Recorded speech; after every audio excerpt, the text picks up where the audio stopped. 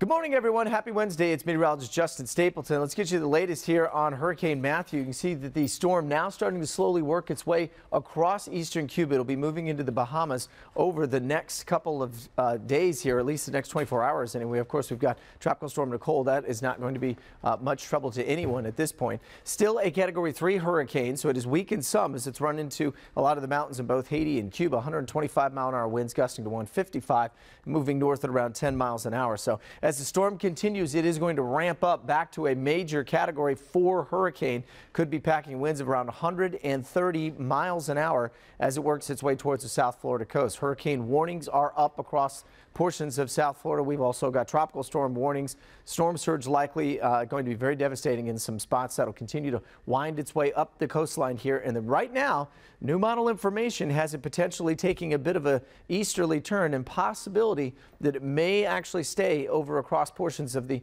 southern Atlantic here uh, out across the uh, southeastern United States. We have to watch this very carefully. It's brand new model information just came in, uh, but that's something that we're going to watch and you can see the track kind of reflecting that as well.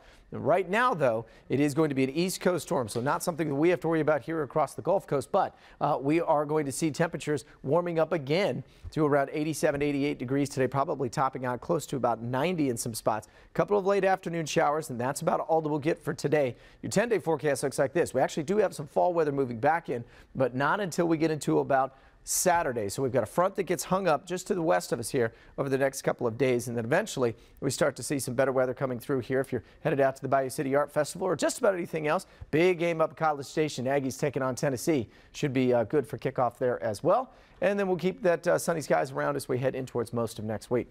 That's your forecast from right here at click2houston.com. Make sure you follow us on Facebook and Twitter. We'll keep you updated throughout the rest of your work week. And you can track Hurricane Matthew at the top of the page here. Just go over to the Hurricane Headquarters page and get you weather anytime you need it right here